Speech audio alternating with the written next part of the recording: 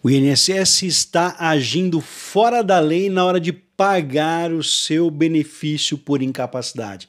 Me acompanhe nesse vídeo para saber se você está sendo prejudicado, mas por favor, não esqueça de ajudar outras pessoas compartilhando as informações que eu estou trazendo aqui todos os dias nesse canal para tentar ajudar as pessoas. Então compartilhe esse trabalho informativo que eu faço nas suas redes sociais. Compartilhe lá no seu Facebook, na sua lista de amigos do WhatsApp, para que todos recebam as informações desse canal. Sejam todos muito bem-vindos, que Deus abençoe a todos. Meu muito obrigado pela sua participação.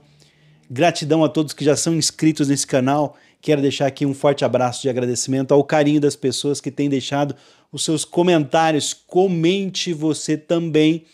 E desde já eu deixo aqui um convite especial para você que ainda não é inscrito nesse canal. Aproveita essa oportunidade de ficar informado, já se inscreva e ative o sininho das notificações para poder receber nossos vídeos e ficar por dentro do que está acontecendo. Eu não cobro nada por isso, é de graça. Aproveita essa oportunidade.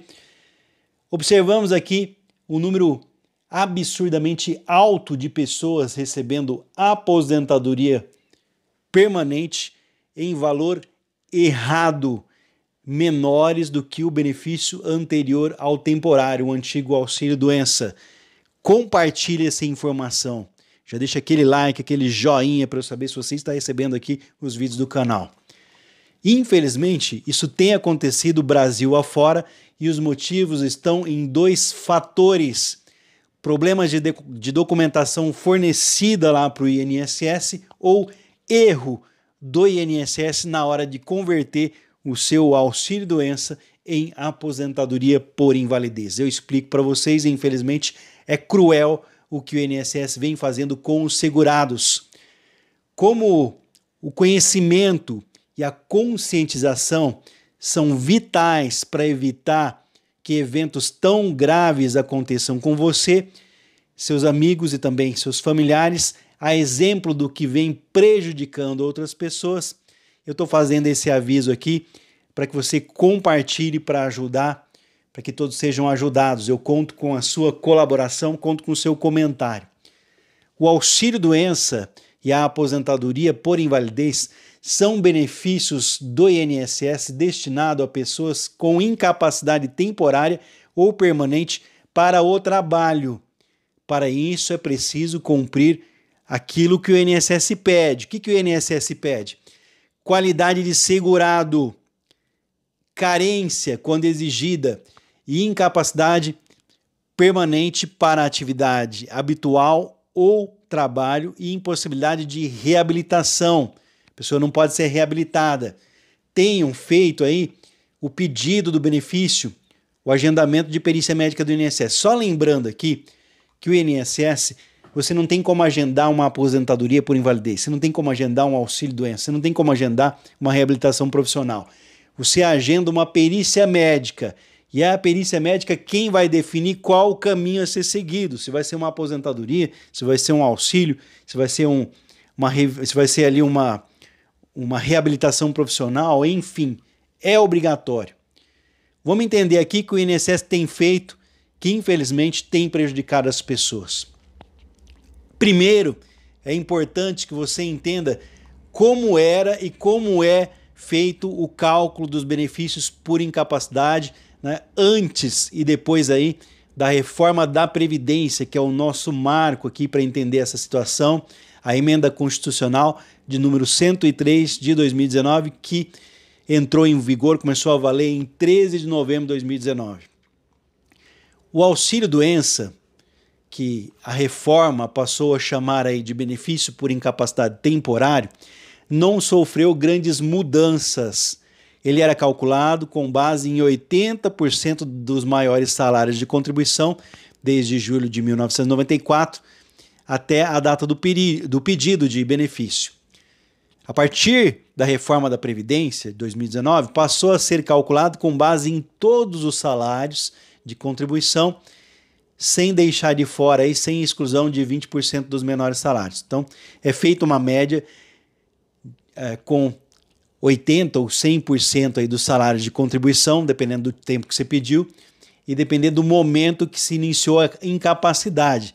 Aplica-se o coeficiente, o coeficiente, o coeficiente, aliás, dessa o, a regra ali de 91%. Então, qual o coeficiente? Qual o número utilizado dessa média que você recebeu? Você vai receber 91% dessa média de salários. Depois disso, ainda temos o segundo cálculo para chegar ao valor da renda mensal inicial, que é o valor da média aí dos 12 últimos meses de salário que você recebeu antes de pedir o auxílio doença. Compara-se os dois valores, a primeira média e a segunda média. O valor do benefício será o menor valor. Então, entenda essa situação. Fez a média de cálculo, tudo que você recebeu de salário, se foi o problema de saúde antes da reforma da Previdência, 80%, então exclui os menores, se foi depois da reforma, 100%. Aí, dependendo do momento que você iniciou a capacidade, aí aplica-se o coeficiente. Você vai receber dessa média 91%. Depois de tudo isso ainda, o segurado tem um, que chegar a um cálculo do valor da renda mensal inicial que ele vai receber de auxílio-doença, referente aos 12 últimos meses que ele recebeu de salário, compara esses dois valores. A primeira média e a segunda média, o valor do benefício vai ser qual? O menor valor. Em relação à aposentadoria por invalidez, houve uma alteração ainda mais significativa conforme o que nós vamos demonstrar aqui. O valor do benefício por invalidez até 13 de novembro de 2019 era de 100% da média dos 80% maiores salários de contribuição de julho de 1994 até a data da incapacidade. Ou seja, achando a média de 80% dos maiores salários de remuneração da pessoa, se chegava ao valor da renda mensal da aposentadoria por invalidez, que é o salário que você ia receber. Não importava a causa da incapacidade, fosse ela doença ocupacional ou acidente de trabalho, fosse doença grave ou degenerativa comum, o valor era calculado sempre a partir da mesma regra de cálculo. A partir do momento que começou a valer a reforma da Previdência de 2019, a aposentadoria por invalidez não só ganhou um novo nome, aposentadoria por incapacidade permanente, como duas regras de cálculo diferentes a depender da causa de incapacidade. Então vamos lá. Sendo a incapacidade causada por uma doença do trabalho, uma doença ocupacional ou acidente do trabalho, o valor da aposentadoria é integral, ou seja, 100% da média de todos os salários de contribuição do segurado desde julho de 1994 até a data da incapacidade. Nesse caso, portanto, a diferença fica somente com base de cálculo, pois, para se chegar à média, não são mais deixados de lado, excluído 20% dos menores salários de contribuição. Embora seja uma alteração que costuma reduzir o valor do benefício, não tem sido motivo para gerar grandes preocupações para as pessoas que têm direito à aposentadoria por invalidez. O problema maior está nas aposentadorias por incapacidade permanente concedidas para casos de doenças e acidentes não relacionados ao trabalho. Veja bem, as novas aposentadorias por invalidez nesses casos passaram a ser calculadas proporcionalmente ao tempo de contribuição, aplicando-se o coeficiente de 60% da média de todos os salários de contribuição desde julho de 1994 até a data da incapacidade. É claro, podendo haver um aumento, um acréscimo de 2% do coeficiente de 100% para cada ano a mais de INSS pago, para cada ano a mais de contribuição, a exceder aí 20 anos para homens e 15 anos para as mulheres. Então, que for mais de 20 anos para homens e 20 anos de contribuição para as mulheres, aumenta 2% a mais dos 60%. Com todas essas mudanças, é possível perceber que foram impactados negativamente as garantias da pessoa, ou melhor, das pessoas que contribuíram, que pagaram o INSS no decorrer da sua vida de trabalho, de contribuição e ficaram incapacitados para o trabalho sem condição de ser reabilitadas. Vamos dar um exemplo prático que tem acontecido e depois vamos tentar explicar aqui como você deve agir para evitar esse erro e principalmente evitar prejuízos. E não esquece de compartilhar para ajudar outras pessoas. Então vamos lá, aposentadoria por incapacidade permanente, a antiga aposentadoria por invalidez.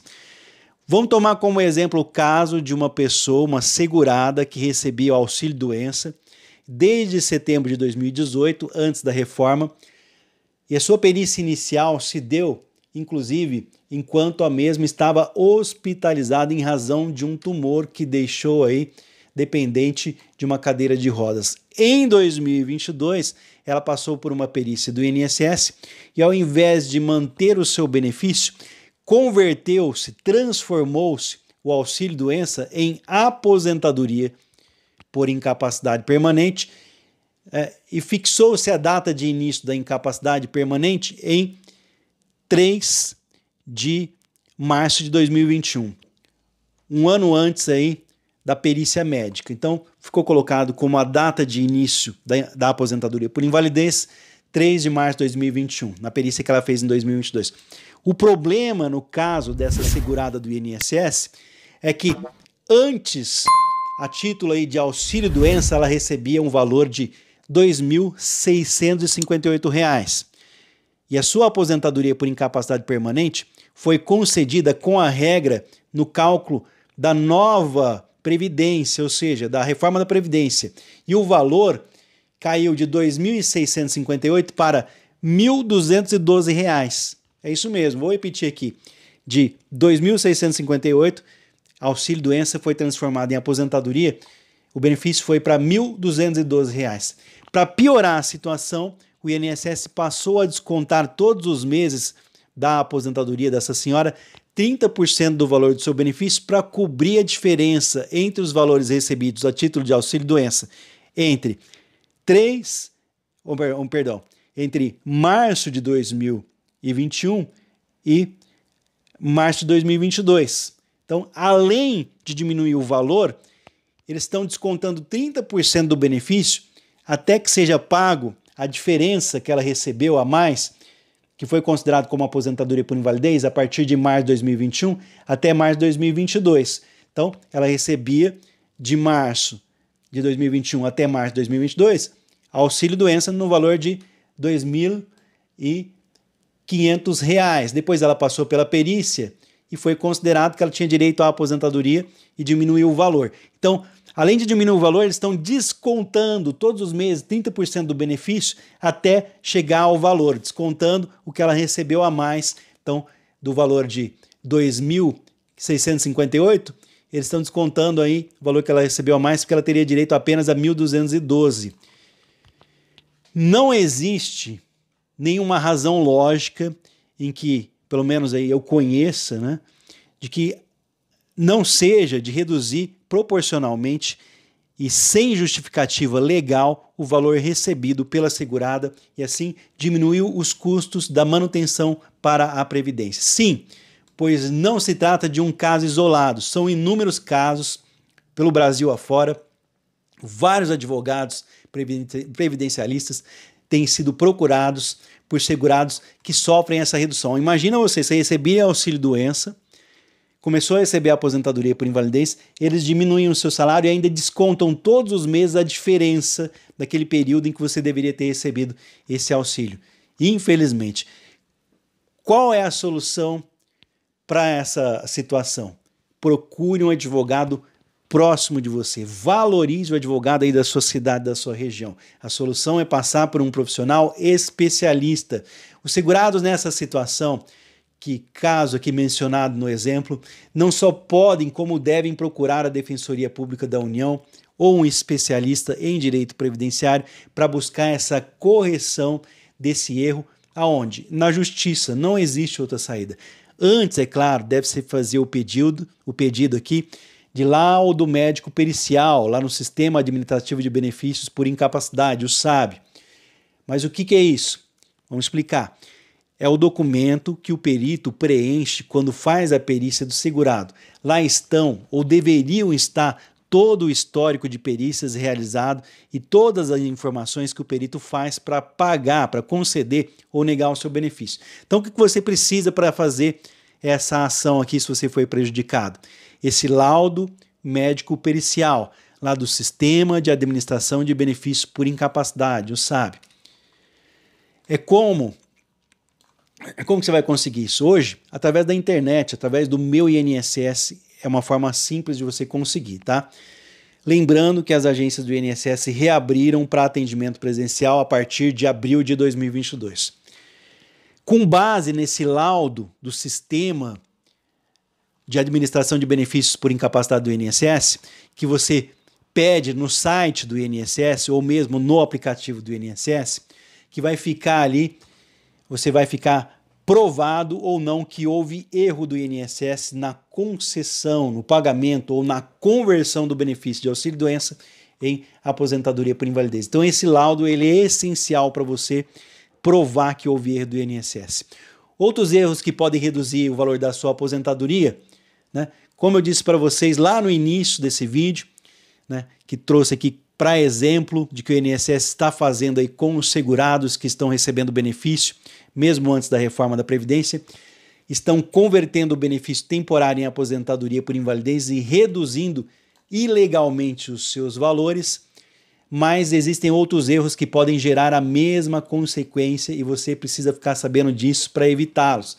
Então, me acompanha aqui, mas já compartilha essa informação que é muito necessária.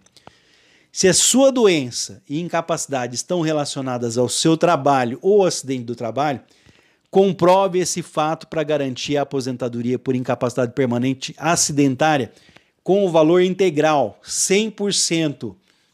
Confira todos os pedidos de pagamento, de contribuição que você tem lá no seu cadastro do INSS, que é o CNIS, Cadastro Nacional de Informações Sociais, e caso tenha períodos que não foram reconhecidos pelo INSS, junte documentos relacionados a esse tempo e peça a averbação Dessa maneira, você aumentou o número de anos de contribuição e, consequentemente, pode aumentar aí o valor do seu benefício. Então, para aumentar o seu tempo de contribuição, você pode provar o seguinte: tempo rural como segurado especial até 1991, serviço militar obrigatório, tempo de aluno e aprendiz em escola técnica da União, tempo como ministro de confissão, direitos reconhecidos em reclamação de ações trabalhistas, tempo exercido de atividade nociva à sua saúde ou perigosa à vida até 13 de janeiro de 2019,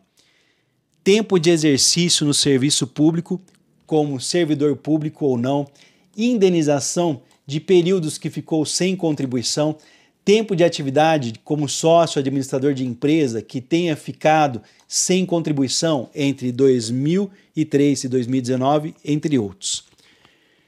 A inconstitucionalidade dessa nova regra de cálculo pode ser, portanto, né, é, injustificável pelo INSS, abrindo caminho para você conseguir uma correção através disso.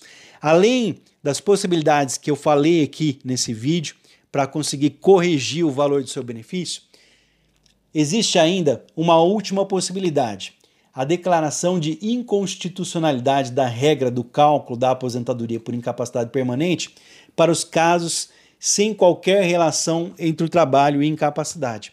Algumas decisões da justiça em todo o Brasil, afora aí, elas reconheceram o cálculo da nova regra que não seria constitucional por, por fronta a diversos princípios como princípio da igualdade, da irredutibilidade do benefício, proporcionalidade e razoabilidade da seleção, ó, da selecionado aqui, entre outros. Então, mostrando que isso está fora do que diz a Constituição. Cabe a todos nós aqui que fazemos esse serviço informativo, né, alertar a sociedade para que se defenda aí desses crimes que estão sendo cometidos pelo INSS que vem acontecendo, infelizmente. Então compartilhe esse vídeo se você conhece alguém que recebe aposentadoria por invalidez e foi prejudicado. Essa trágica redução ilegal dos benefícios por incapacidade está acontecendo e não deixe que isso aconteça. Procure um advogado, um profissional próximo de você. Leve toda essa documentação que você tem em casa para você saber se é o seu caso se for o seu caso, Vá para a justiça para conquistar o seu direito de receber o seu benefício com o valor correto. Eu espero ter ajudado vocês nesse vídeo. Se ajudei, como eu disse, compartilhe essa informação agora nas suas redes sociais para poder ajudar outras pessoas. Eu estou ficando por aqui, mas daqui a pouco eu volto com mais informações. Vou deixar o convite mais uma vez. Se você ainda não é inscrito nesse canal, aproveita essa oportunidade de ficar informado. Já se inscreva, ative o sininho das notificações, porque é de graça. Eu não estou cobrando nada de vocês por essas informações, por esse trabalho informativo que eu faço todos os dias. Um forte abraço a todos Fiquem com Deus. Até o próximo vídeo.